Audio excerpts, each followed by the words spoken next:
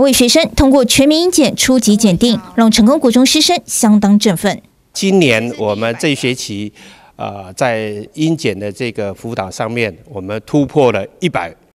一向重视培养学生英语实力，校方争取到充足经费资源，安排课后英语辅导，并由老师们自编英语教材及题本。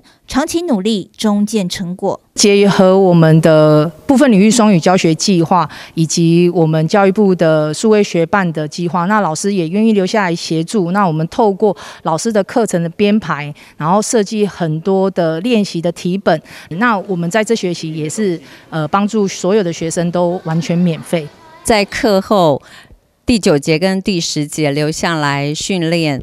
呃，他们听说读写的能力，那孩子呢也是非常的努力。学生们很感谢学校的资源，让他们可以顺利通过检定。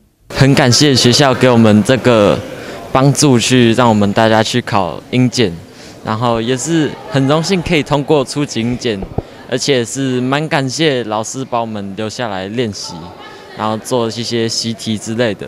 校方为了鼓励英语学习，对于通过英检的同学都给予奖学金奖励，相信可以进一步发展学习动机。呃，很感谢学校有给，呃，有鼓励我们，就是有给奖学金，让我们都更有动力去学习英文。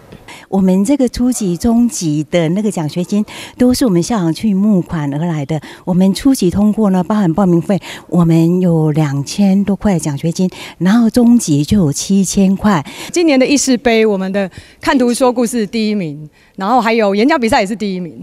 还有我们呃去年的作文试赛，我们也是拿到全市的第一名。那我觉得我们的学生非常的棒，然后我们给的资源也非常的丰富。校长很感谢全体师生的努力，让学校在英语教学中有丰硕的成果。现在目前学生呢超过英检已经超过了一百位，我们希望我们同学能够继续的努力，在英文的这个教学上面还有学习上面能够更进一步。